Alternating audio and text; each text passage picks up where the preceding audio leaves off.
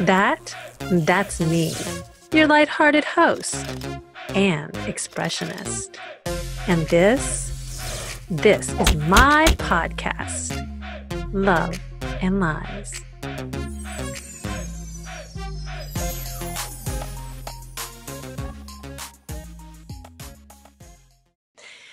All right, ladies and gentlemen, I have Terri Bowersock. Terry was the first to start consignment furniture with only $2,000. You grew your business in 1979, built it to $36 million a year business and 17 stores across the nation. Uh, you have been interviewed by Oprah Winfrey. Uh, there are Netflix psychic shows, TV series, uh, on investigation channels. Mm-hmm. There are several books. We got here Bones in the Desert and The Other Side of the Crime. Yes. And uh, recently you've been approached by. Mary Ann Morgan is the psychic. So there's several psychics that worked on the case. Uh, Mary Ann Morgan worked on the Scott Peterson case mm-hmm. and the um, Holloway case. Natalee Holloway. Natalee Holloway, mm-hmm. thank you and they're getting ready to do another show about it and they've called me up just after you called me and said they wanted to do another show. Um, one of the reasons is ours is so documented uh, because it was in tucson casa grande and phoenix. They, they didn't know where she was. And so there was a lot of documentation by all three different police stations. So is it that they like because they're psychics um, they like that it's documented because um, well, for doing shows, there's so many pictures and there's so much documentation from the police and so many things like that that have been kept. Let's tell the listeners um, okay. what I guess. I was known for the consignment success by all means, and it was amazing. Uh, but in 2004, uh, on uh, de- December 13th, my mother was um, murdered, um, but we thought she was kidnapped because that's the way uh, the charming predator, which was the man that did this, that came and found a woman that was wealthy and decided he wanted her wealth. So on December 13th, she was um, supposedly kidnapped, murdered. And then she was, we found her, which, uh, by the way, the odds of finding somebody hidden in the desert is about one in a million. And we found her 13 months later on January 13th. So it was December 13th, 13 months, and January 13th. Um, I think one of the things that you'll see as we talk about this, and I ended up writing the book, The Other Side of Crime, because there's the police story and there's the criminal story, and it's fascinating in itself because um, it, it had so many different facets to it. But the other side of crime was just like you hear um, people, uh, nurses, they'll hear their patients talking to somebody as they're getting ready to pass. You'll hear uh, women say, Oh, my husband was turning on and off the lights again. You know, we all say those things kind of just to ourselves in mm-hmm. our home. And the reality is, my mother was doing it in spades. I mean, she was just doing lots of things. And it took me a little while to go, wow, this is from the other side. This is mom.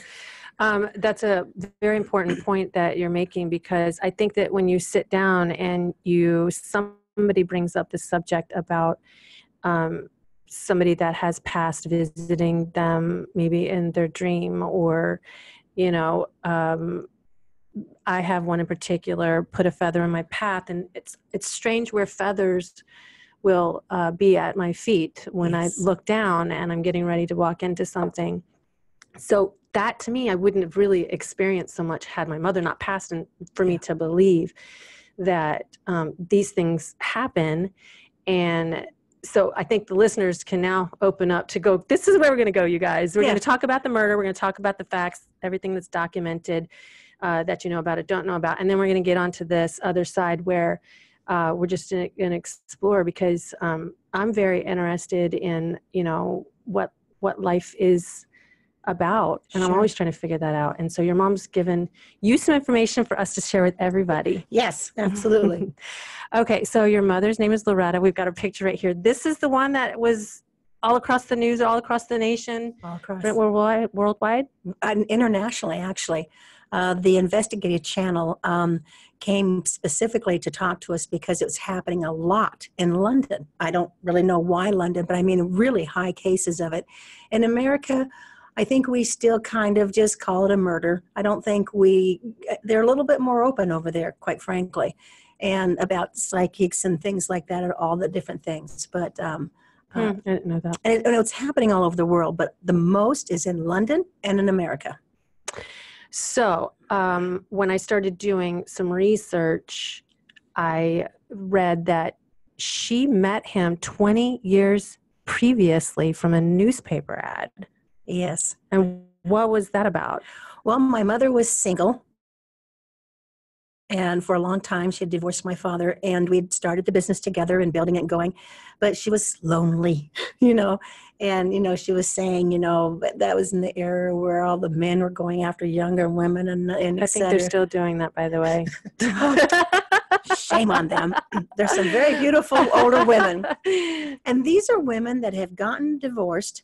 They've gotten back on the, the business track. They've built themselves up. They've made a success and they're lonely. That's the very first thing to talk about here is the loneliness that we have in, in that area. So um, I had seen on Three's Company, remember they ran an ad uh, to find a guy because if they're wanting to rent a room, they're single. And my mother and I thought that up and I wrote the ad.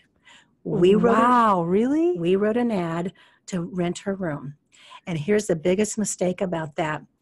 When, Wow. When so he comes so he comes over, you know, calls up. So she in. places an ad in the paper to rent a room, yes, and her intention was to possibly meet somebody single. single. So this is probably like the first start of like, you know, um, dating ads, and and now we've got Yeah. we, we've got all these dating app, apps now. So this is pretty interesting. Yeah. So Loretta, And before I forget, and we'll come she's back to beautiful. I mean, I can only imagine what and she and, like. and and was attractive and and certainly could attract men. You know, I, I we really want to always break all the stereotypes. You know, uh, this only happens to this kind of woman or this kind of woman. No, this happens to all kinds of women. Whether this one went after wealth. Uh, sometimes they're And just beauty. going, yeah. Sometimes they're just going after, you know, cover my expenses right now, type of things. But um, the other thing that is going to be real different, we'll talk about kind of the signs to see because my mother is important to her. But typically, um, uh, and and he and it's also they do it over and over and over. This is not one time. So Right, he had done it to five women next. before my mother, and um, usually it was only but three. he just he he just conned them. He didn't. correct. He's only murdered her. Okay. because he usually only stayed three to five years. That was what the record was all the way across the board. I think that um, he was getting older, kind of getting Right. tired. Had to start settling down. And my mother was the generation stand by your man. And she got in there and she worked on there was thousands of journals hidden all over where she and she was always watching Dr. Phil. You know, how she could solve this, how she could change this, how she could do mm. something, what she could do. It's interesting. she was really working to make it work for some reason. And so he ended up being there 18 years, which is another big thing here because, you know, in the beginning, we all did start going, what is this? you know, mm-hmm. what, I- you know, you, you get a feeling, but then they're happy. was he paying his rent in the beginning when he went to rent the room? I, you know, or did he just did they fall in love? I mean, what Yeah. happened when she shows when she opens the door and he's there and he's like, yes, he's handsome. He looks like my mother said, Captain Stubing on the love boat. okay, So he shows up and, uh, you know, very charming. I mean, just a big, beautiful smile, and they're they're just amazing. And so he's telling all these stories. And, you know, again, because you're renting a room, you, you share a lot of things. And he claimed that at the airport, he lost his wallet, which you're going to see in that list. They've lost their identification and their wallet oh wow, and that he Okay. he used to be a CEO in Scotland, um, and he had just gotten back from there. As it turned out, later we found out he had just gotten back from Texas, being in prison. Uh, but we'll get to that later. And um, he's just had all of these stories, and th- then um, so that was kind of the interview part. But then he definitely But she, but she was taken by him at this point. She was like, I don't care if you got identification. Well, and they very Your room quickly is down the hall to the, the left, left. and, and he very quickly stepped into and recognized you know this woman's alone and everything so then he asked her out so the first couple days what how is it going how's it going and you know she's saying She's like, we went on a date in the kitchen. and then they went on a couple dates and um, so i believe they literally dated about um, two weeks. And um, he had really just done everything to you know he can cook he can do this He wasn't moving out. It- you know all of these type of things. He was still at the hotel at this point. Okay. and this is where the problem was with that little game we played. When it comes time to either you know say no or yes you know you're looking at it as a relationship but now you kind of have to say yes early you know in two weeks because he's wanting to rent a room. And if she doesn't look say it it looks like she was not saying the truth.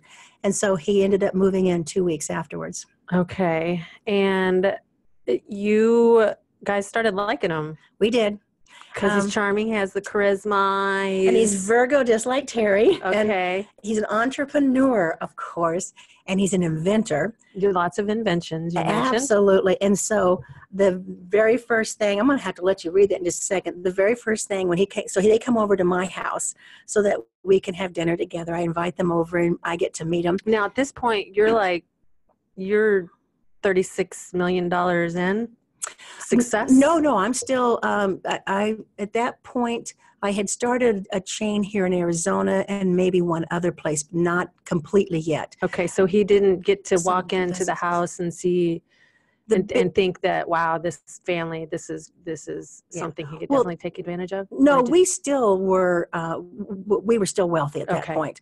And you know my mother's house was just gorgeous, and um, I hadn't moved into the really big house yet, but I still, you know, we certainly had high so end he knew right. and very well decorated and Of course, a little stylish. um, so the very first time he came over, here it comes out of the pocket. He's got this piece of paper and he unrolls it all, and it is a, a lawnmower blade that is charaded that he says he's invented. And so when you think about uh, people that cut but plants that come over, they cut it aside because it keeps it healthier. So he's invented a lawnmower blade that we can all invest in. Okay. Did that raise a brow? Were you like, Nope. "Mm," no, you were just like, okay, let's support him. He, Yes. my mom's falling in love. Yes. He That fits in. He's gonna look good in the family pictures. Yeah. All of that, like Yeah. you know, That was the first one. stuff. You might share with them. So, one of the things that we read through Dr. Phil's stuff and through her stuff, and then I at the very end uh, worked with doves and uh, women's groups and all kinds of things throughout the country uh, f- For, the domestic violence. domestic violence. And this is the six signs of uh, what's called a charming predator. Okay, charming predator. So uh, we've got here stranger comes in to her life and appears to be wonderful.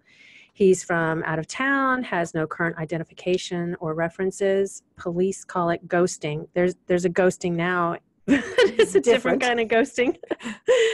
uh, no background information can be found on this person, which I'm assuming Is you're googling and you just can't find anything on this person. Nothing. Uh, he makes her feel like a priority in his life. He has a sad story, um, plays on heartstrings, has grandiose ideas and inventions, needs money to make them happen. He is working his way into the relationship while this is going on. He borrows money uh, from her and friends and works to separate her from family and friends. This is also a really big flag Yes. uh, red flag for Yeah. a lot of people out there that in relationships like this. Um, personality changes, becoming condescending and nasty. So It changes. they, it's kind of like gaslighting. They they Yeah. tell you you're wonderful and all of these things. And you're you're every bit uh, important, and then all of a sudden they start breaking you down. They talk about it being like the Stockholm syndrome. Um, so you know, and so the nasties are down the road a little bit. You know, right it- right after they build you up, get you addicted. it's to, all of this. Right. And then they do things where you're going up and down so that you are somewhat falling You're starting to question yourself, like, Yeah. oh, is it me? and you're attached to your captive, is what that is. right. Yeah. Right. And then I, I think it- they make you feel like nobody else has ever made you Oh, feel. Absolutely. And in particularly, uh, he was, you know, she was working with me, but, and then he got her um, to, I buy her out so that he could have his first step of money. So his first step of money was from me buying her out as a partner. So Mm, he talked her into it's- it's that because we're going to go invent all these things. And so we need this money from Terri so that we can go have all these inventions. right. And um, so, you know, one of the things after this was all over with, and I read that, I literally, as I tell this story, you can check off each thing. Yeah, you can. And and now you're saying her personality changes, which kind of goes with why would she allow this man Yeah. to be able to get money from her daughter? Do you know what I mean? Like now her character, something's changing. Um, things that she would never have considered doing before starts to feel normal.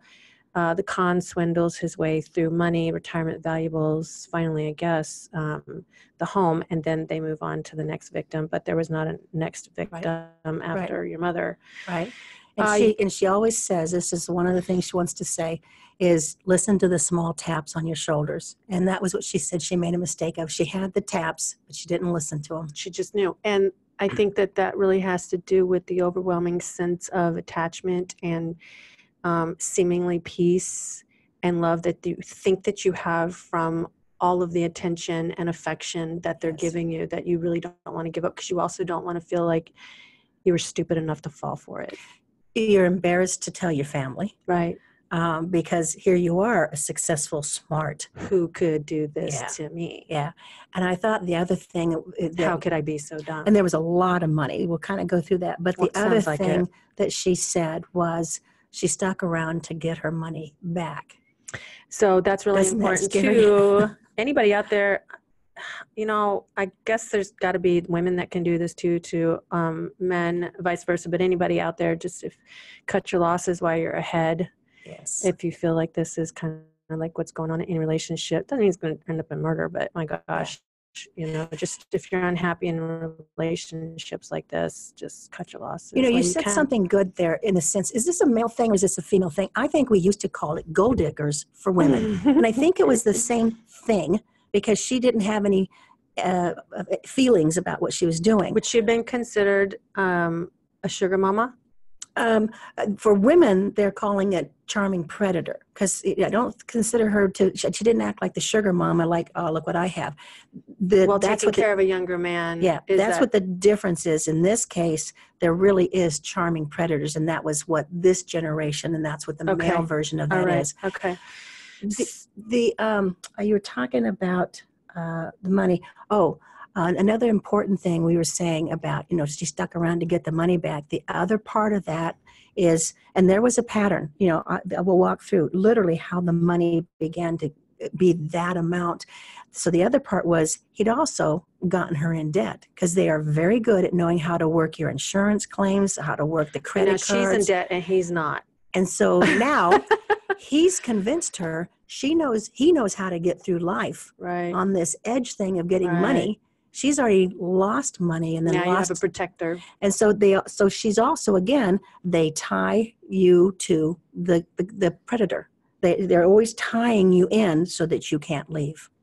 Okay, so Okay. let's talk about. Let's get down to the nitty gritty. Uh, let's talk about the murder. What happened? So one day, Okay, so um, we've gone through this process for 18 years, and he has, uh, you know, first gotten the money from me, and then second, I ended up having to come back and giving them more money about the business because they didn't think I was going to succeed. We only had one or two stores originally. We just had the Arizona stores, and um, so this was way back the 18 years earlier. Um, and then I had built it very large, and so they came back and decided they wanted more and that kind of happened and then primarily the biggest thing that was happening is that you know uh, they they he would come to me and we don't have money. My deal didn't come through and your mom's going to lose her house. And so of course i would pay for that. Um, and the other big big part of this was and this is a real important statement here is that he was always doing inventions. It was the the blade in the beginning, and then it was the car cover that would keep your car cool, and then it was uh, an IT thing, and then it was a sound speaker that you know riveted the house, and and we invested in all of them. And we would he the idea is that he's always he's always getting you excited. You know, he's always got this new thing that's going to mm-hmm. make us all money. We're going to have the big house. We're going to, and all of this stuff. And the truth of it was that each time we, and so we would make new wills. So we made sure that we all got in mm-hmm. on this next mm-hmm. new deal. Right. And of course, invest into it. I invested, her friends invested. They, they get everyone to invest in on their, they're, they're always collecting money. And what was really happening in there is he was always putting in a sheet that was power of attorney or a, a legal paperwork that he needed done. Because we started doing so many of them, we just started signing them and not reading the whole thing. And um, he was able, with all these different things, to go get money out of her insurance account. He was able to go to the bank and pull $50,000 out of her house towards the end because we had signed all mm. these papers. So I, I think that as much as I did, I liked him. We all liked him. He was very charismatic. He would cook. He would do all these things. It wasn't until later I started learning how um, unhappy and how he was kind of nasty. I didn't know about the nastiness because when I was around, first she was the golden person with the money, and then I was. And so I became the second person that they were always just, you know, me and you. And your mom's kind of you know, getting old and not and losing it. She's not being very good. And so he was kind of always winking on the side to me, like, you know, you me kid, you know. Mm. So I mm. got fathered a lot. So why did he kill her? So uh, finally, uh, towards the end, uh, he had gone and gotten uh, most of the money everywhere, and he had gotten that last amount out of the bank of the fifty thousand dollars and then when that didn't get paid or stuff didn't happen, they ended up, you know, sending lots of information about foreclosure. Well, guess what they do? They collect the mail. So that's one of the things that they do to, to keep, keep her from getting the information Absolutely. that the house is getting ready to foreclose. So they're always collecting the mail, and and they and so finally it was on a Friday, and they had left the little note card on the door, and my mother got it first. And in the police report, I got a big little thick police report for you. It says that she started making phone calls that, that day to the to the banks to find, she found out on Friday, and so um, I and then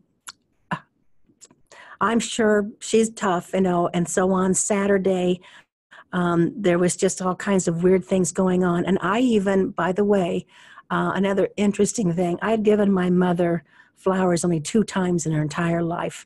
And so one was right about that time I had brought her flowers for Christmas.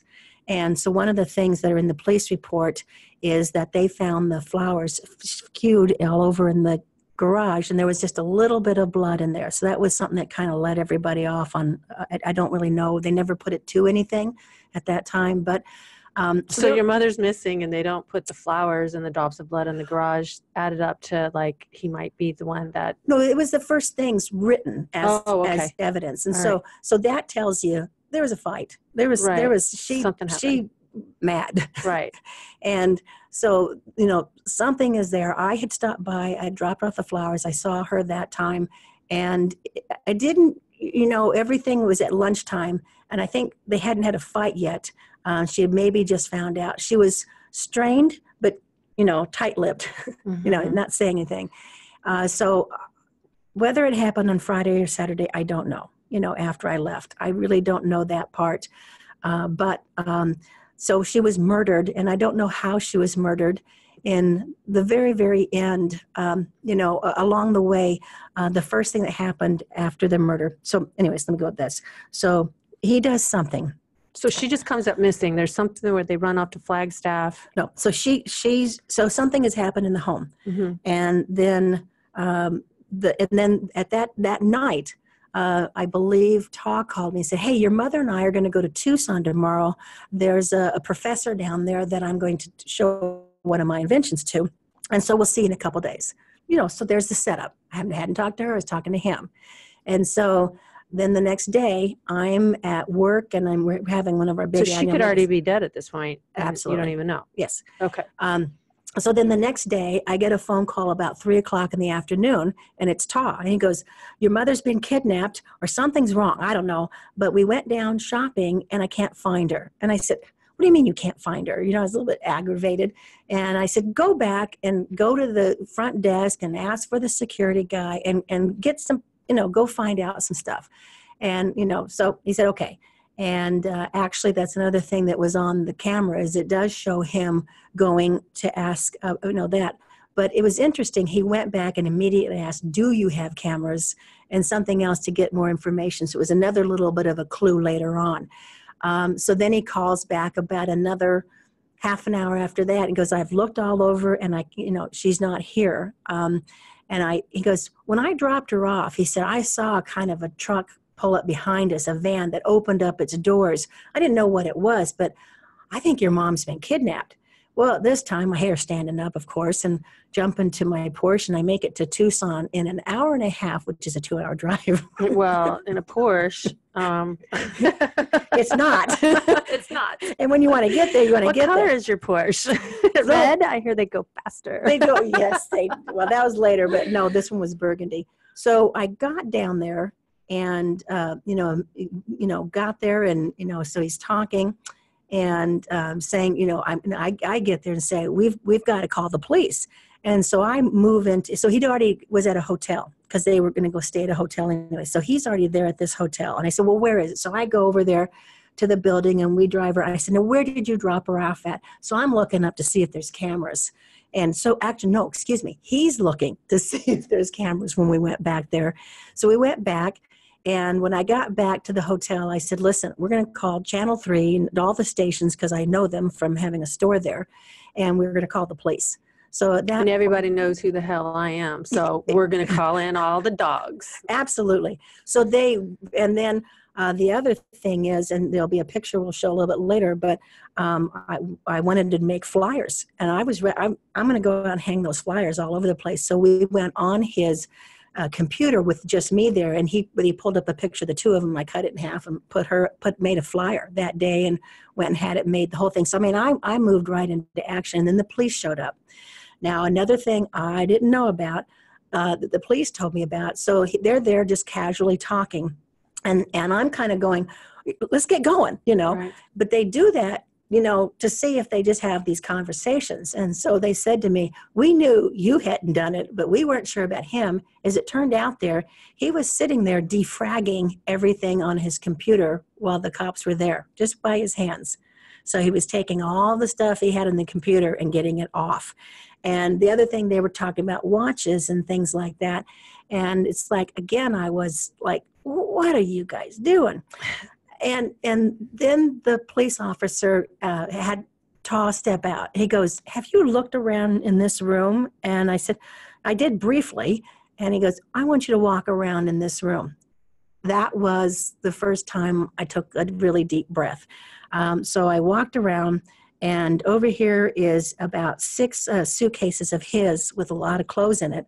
And over here is a little overnight bag, little little suitcase with four pants, four socks, four shirts, four skirts, exactly like this. And uh, later on, I kind of realized makeup that you had reached in the drawer and put in. Right. And so, not a woman. A woman did not pack that. Oh no. Uh, so very little. And then over here is her bags of a lot of jewelry. I didn't realize how much was in there because they were still closed. Uh, the next day they had pulled everything out. And there's also a whole bunch of guns and knives I would and and bullets and stuff. And he said, "Oh, I'm bringing them down here. They're having a big show, and I'm going to sell them." So there was always all of these things, but he had all of that there, and so the room, you know, definitely looked like I'm going to be gone for years, and she's only going to be right. gone overnight. There, they also found a pickaxe, gloves, blanket. Yeah. Um, that was the next day. So we went through that whole process with the police officers and then um, they went ahead and went back to the place and we were going to go searching so they left and um, i was i actually had a friend with me at the time and i i looked at them and i said i think we need to go talk to the police and so we drove down and i said listen i'm not saying that anything happened but this relationship has been strained Mm. and it's not you know there might be something but I, you know i doubt it. But i wanted to make sure i said that. And so um, then we continued to search all night and then the police came back again the next day and that's when they uh, they had called and they said we're on our way and so interestingly enough stuff starts getting said. So one of the first thing he says when the police are coming back to interview us is that darn scott peterson case. He was the one that killed his wife. Mhm. um, they ever since then they always think it's the husband and they're going to go after him instead of getting out and looking for him. And so he said let me get I, you know i want to give you something that i have in the back of the car the back of the van and so i walked out with him and he opened the back of the van and there was the shovel and the pick and i remember seeing it but kind of your brain doesn't but it does Right. and um, he pulled out uh, a whole bunch of money that he had because they had borrowed a lot from me that he wanted to return to me. that Now he's wanting to pay you back. So he's wanting to get that money out of his hands and get some things into my hands. And so he does that, and then they show up. So it takes them uh, how long to find her body? So, um, so they do all the investigating. They finally take him in. Uh, they have, you know, interviews with him, and and he he's a he's very good at lying. Right. and he just starts making all these excuses and um, because of the the listeners need to know that this is like very short lived. yes it's like One, two, three 14 days and yeah, what does 14 he do? After 14 days afterwards he kills himself he hangs himself. Yeah. 14 days after he Right. reports her being kidnapped and now you guys start searching. Now he's hung himself. and he's and he's claimed his miranda rights and so he heads back to phoenix because we're up we're down in tucson and we live back up in tempe phoenix and so he heads back to tucson to stay at a, at a hotel and at that time the police officer said you need to split off and go home on your own so we both leave from there and this is just you know two or three days after now um, i believe this was then the first thing that happened psychically. So my friend and I get back to the house and we're sitting in my room. So you're bringing in the psychics at this point. no, no psychics yet. okay, no psychics yet. Yeah. Oh, right. So- because now you got to find her body. He's Yeah. dead. Now you got to find Yeah. her body. Yeah. So we're back there and we're sitting on my in my bedroom, and all of a sudden I hear kind of you know like one of those Christmas cards, those cards that opens up and it makes sounds. So I'm hearing which was "Happy Birthday to You," and in my entire lifetime it was the only song my mother sang to me every year. It was like kind of a signal, and so I I hear it, and I so I asked my friend. I said, "Do you hear anything?" And she says, "Happy birthday." I said, "Okay, thank you." And I looked all over and I found the box, but it was in the closet with books on top of it. So that apparently was the first thing she did to, as you think, maybe let me know she is on the other side. I wasn't ready to say that yet. You weren't ready to, you just thought it was weird. And you're like, that's the song that my mother, that's the only song my mother's ever sang to me. And it's packed in a box in a closet. Nothing could have Yeah. Yeah. made this card yeah. go on. That's probably five years old. Yeah. It should be out of its battery. So then they just speed it up. So then he does this whole hor- uh, hotel scene and goes back to the house. And at the house, he does hang himself. the media show up and everything. I was um, at, at down the road, and um, one of the things, you know, uh, how she killed her, but he also in his own death. Uh, it was really a painful way because he, you know, he did it with an extension cord, was was really difficult out in the garage and he hung himself. So that wasn't non painful either. And I always, I don't know, I always try to feel like, you know, that he f- maybe felt guilty or he felt something. Um, I mean, you liked him I did. all the way to the end. Yeah, I did. He was, uh, you know, he, uh, he, you know, became, you know, he'd even say he was kind of like my stepfather. They never married, um, but he was always charming. And I guess one of the things you learn later on is if their full time job is is uh, you, Right. then he doesn't have another job. um, what did they think? How did they think that they, uh, he actually killed her?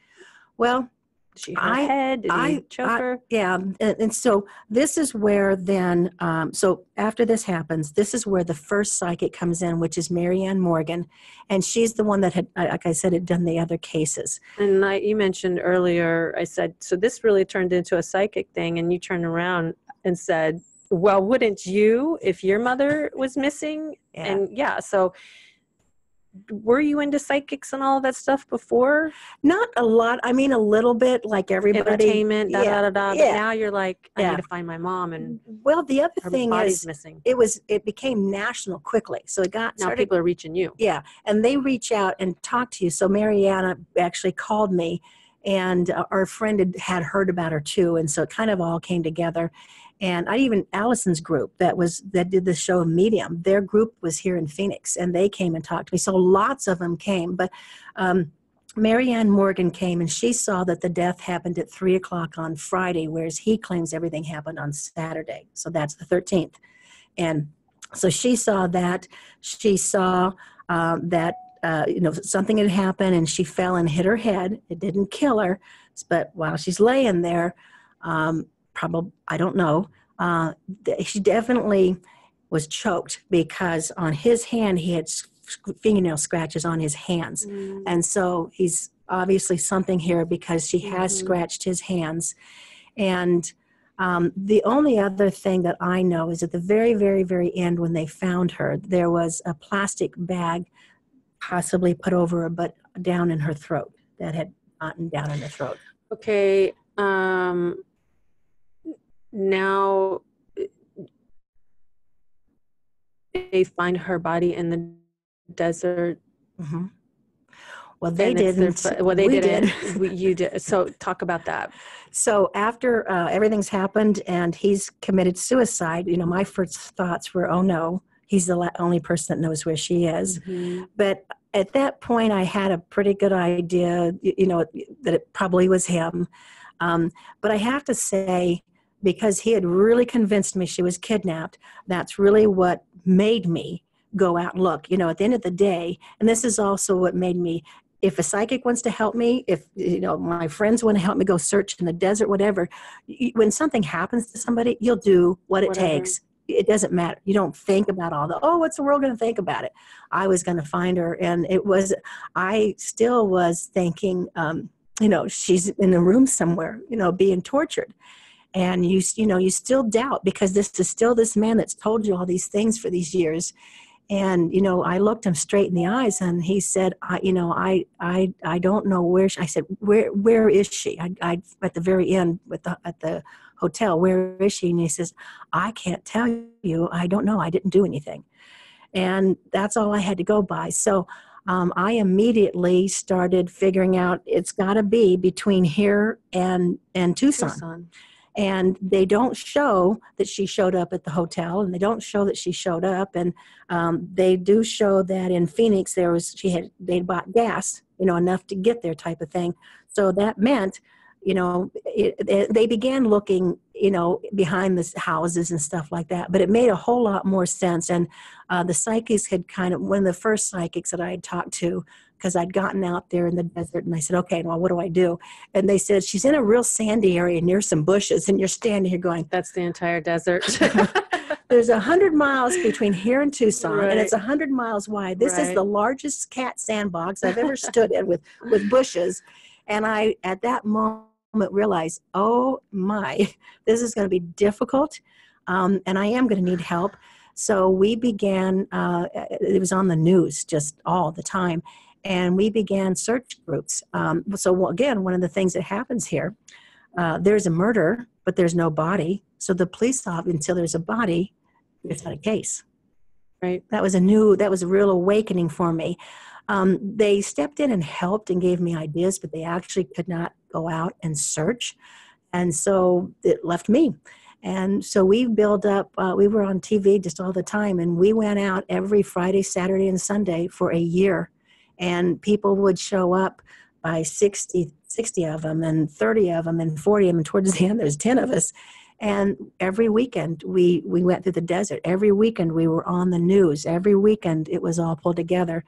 And as it turned out, it was so from here to Tucson. It, if you go to Casa Grande and you go on Highway 8, which is the old way you go to San Diego from this area, and you go out about it was probably about 25 miles down channel or down the freeway 8 we had searched that area but we had only gone about 18 miles out at the time and um, so um, it was down the road a little bit further at the blue motel and Wow. everything everyone that was even a little bit psychic they always said i see blue i see blue it's like there's no blue out here Right. uh, you know, and I heard that over and over. Well, there was an old hotel that was, you know, Wow. and it was the, the the the front was blue, the water tower was blue, all the all the swings were blue. It, it was, you know, when everyone finally, the police and that drove by, and it's like, oh my gosh, Blue. blue.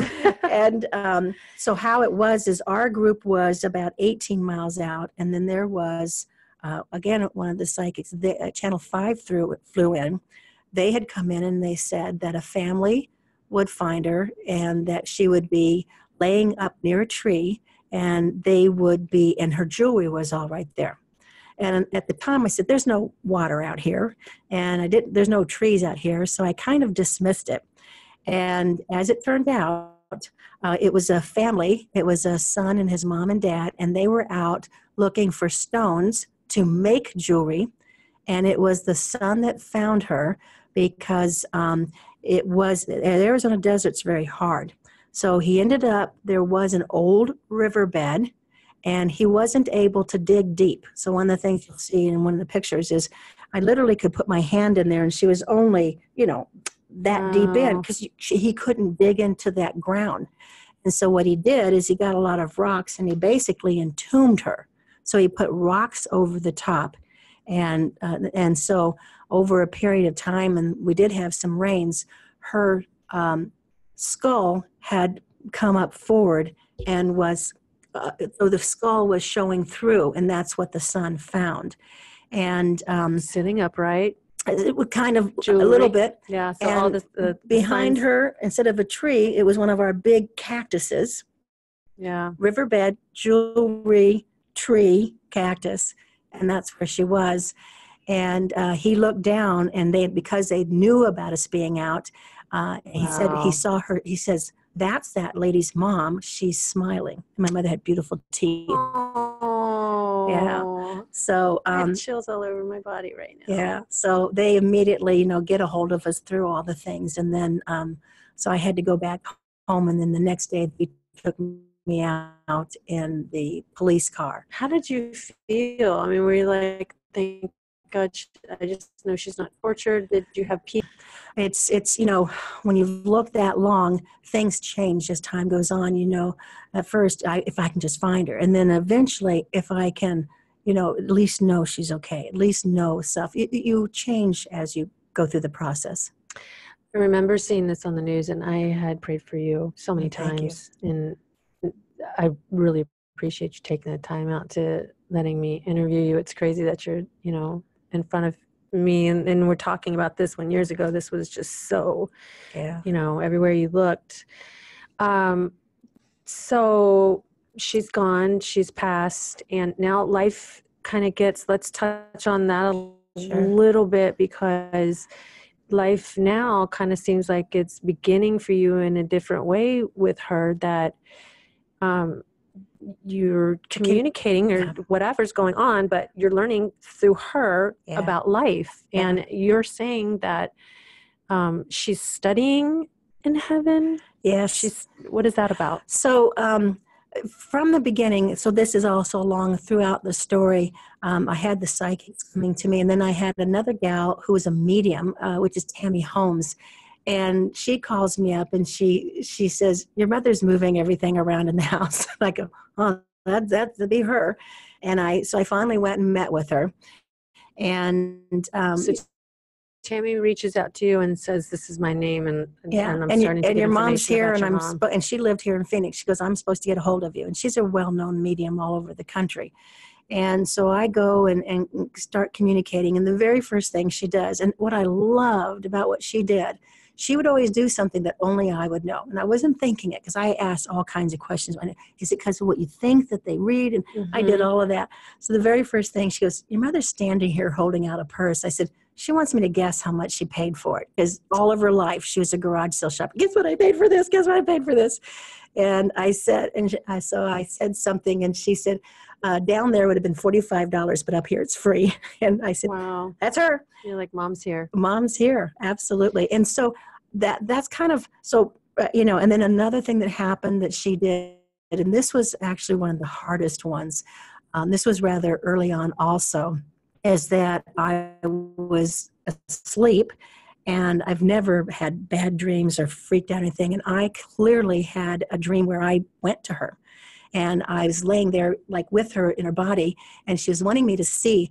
Uh, in, in that area, there's a small airport, and she was above the pattern. She could see, you know, the planes fly by from where she was, and she wanted me to see that and go there. So I actually was there, and um, I, I can't remember all of it. But then towards the end, I heard these clicking nails coming across the rocks, which were coyotes, and I could hear the coyotes. And at that point, I felt them sniff my fingers, which her hands, you know, she's not buried, buried. So she obviously feels the sniffing her hands.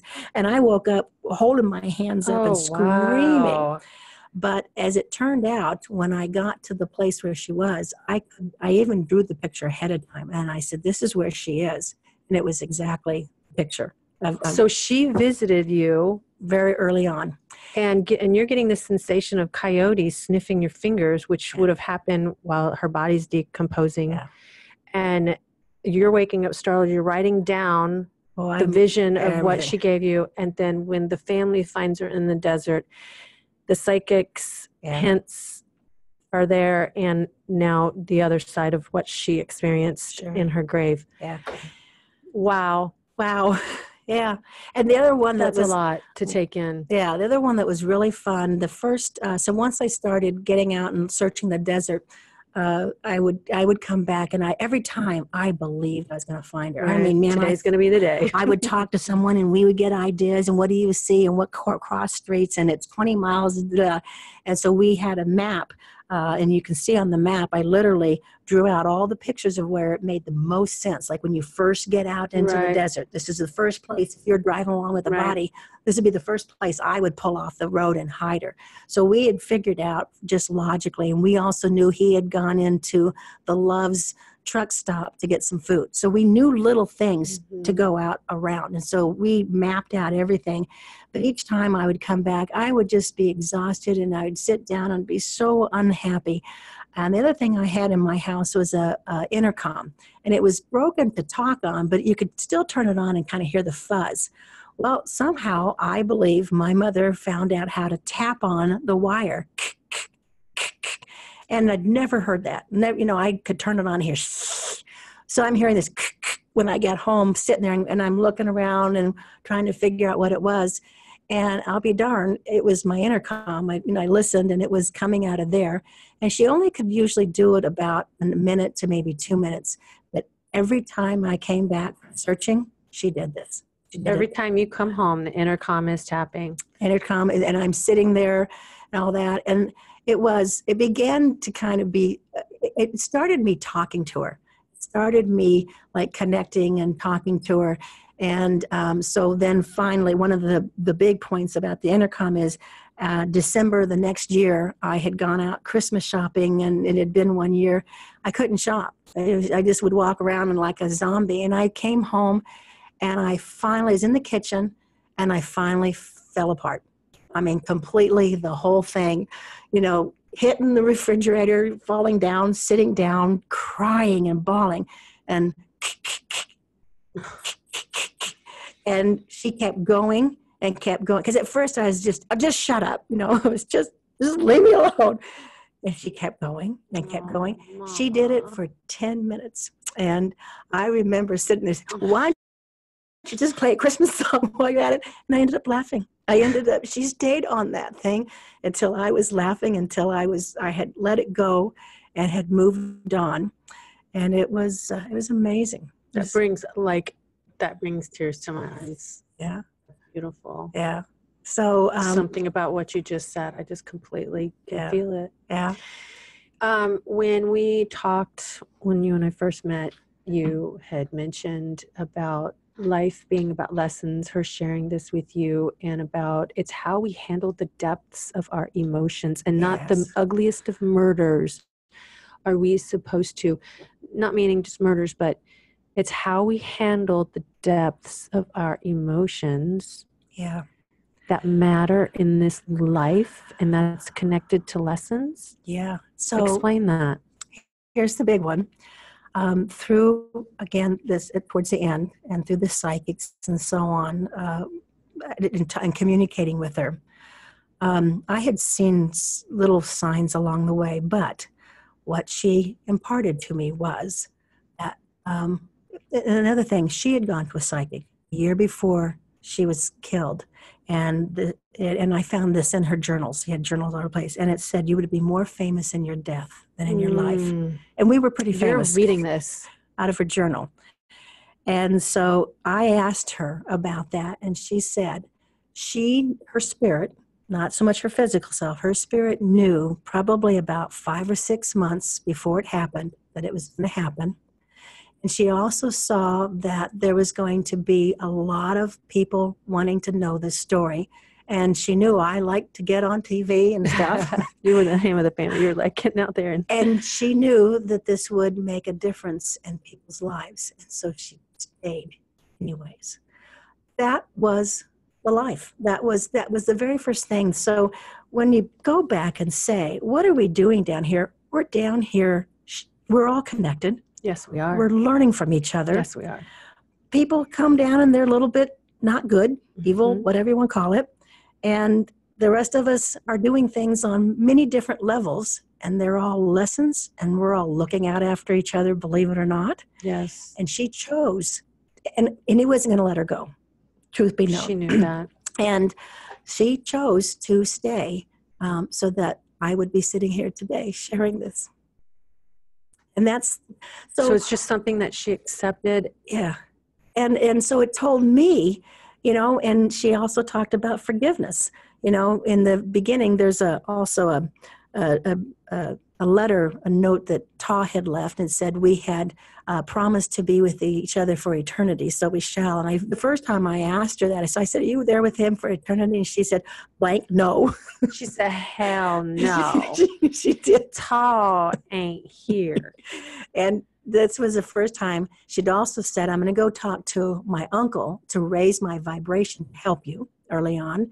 And the other thing that she had said is that she, she went and visit, she could go visit him, but he couldn't come visit her.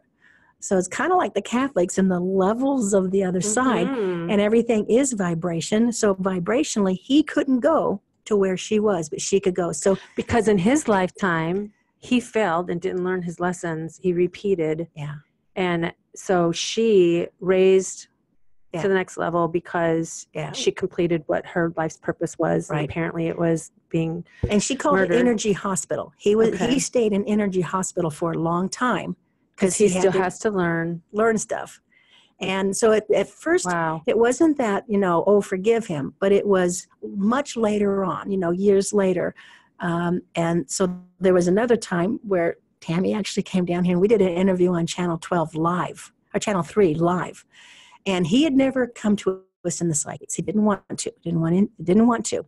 And so we sit down to do this interview and the very first thing is tammy goes oh no. I said what? And she goes Taw's here. And i'm going on on air. It's like uh, and, I, and I- we have a copy of On that. air. on air. And all of a sudden i didn't care what cameras were there. I wanted to know from him did he do this? Because i had never heard the answer. Right. and i asked you know so what i asked trickily i said why did you hide her versus why'd you kill her? Mhm. why did you hide her? And he answered because i didn't want anyone to find out and to find her. He actually answered that on there in front of the world. And so we talked for a while. And you know as time went on my mom would say i'm sitting here with Taw and my sisters and my mother and stuff. So So he made it to a. she had come you know so in the beginning not she so much She could go visit him in the. but once you hospital. learn about what we're all doing and you know, we also can go back and say, I, you know, I talked, finally found his parents and his sisters and so on. He was lying from the time he was very, like in fifth grade, very young. And so you might put pathological liar in the category. I don't mm-hmm. know. But he obviously was delusional in the things that he would see, and what you learn about it is just like our whole life. You know, each time he would come up with something, it would start off with a thing, and then it would build, and we'd have, have reports on it, and it was all about um, the high for them is getting that it got grandiose uh, and the more we were all responding to it the more it fed what he needed in life. So um, wow that is a lot. Yes. And i guess it's taken you how long has it been? Like 10 12 13 13 years, 13 years. man there's something with 13 yes. With me and you and I, as the birth of my mother to the other side. And the biggest it's thing beautiful. that has made a change for me is know, people still say stuff about psychics and all that, but the things that she has told me, and I'm always checking myself, you know, she would she would come along like the next year and she goes, the psychic, she's on the phone, she goes, I see velvet and stuff. And I said, I'm standing here in a full velvet outfit. Does that count? Yeah, I mean, anybody can judge whatever, but until you've you know walk through certain circumstances exactly. in life i mean you're you don't know what you'll reach out to and the process and your yeah. process and how you find answers or learn or consciousness yeah. and helping others and it's just being open to it um, i have three questions that i ask every guest okay. and i want you to give me your answers uh, where is the love in your story oh um, so one of the things on the list is they separate you, and so Taw towards the end had definitely separated my mother and I, and I kind of didn't like her, and she I don't know what she felt about me. I think uh, later I found out uh, she felt guilty all these years for the money that was taken from me. I learned that from that, but. Um, so when I first began looking for, her, I was kind of just you know doing the actions of it, and you know you know mm-hmm. et cetera. Not a lot of feelings. And so one of the very first things the psychic said, I said, "Can well, if you're a psychic, can you just tell me where you are? You know, you know, right. mother, tell me." And she says, uh, "Not till you find me in your heart."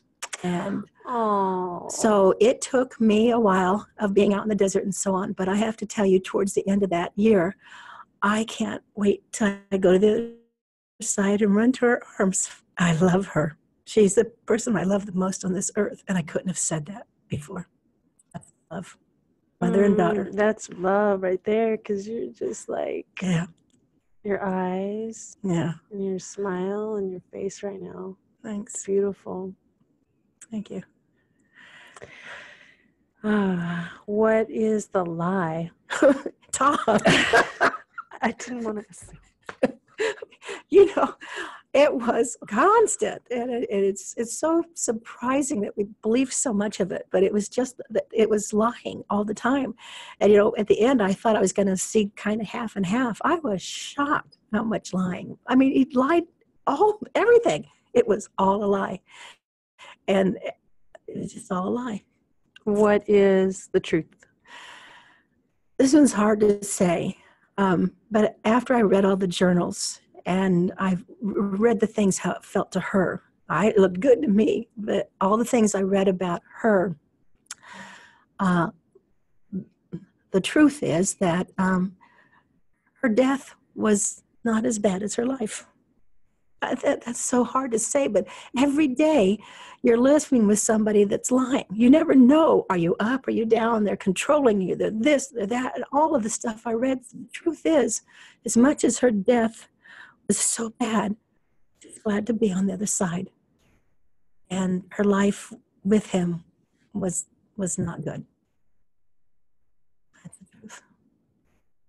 Terri, I don't even know how to end this after that.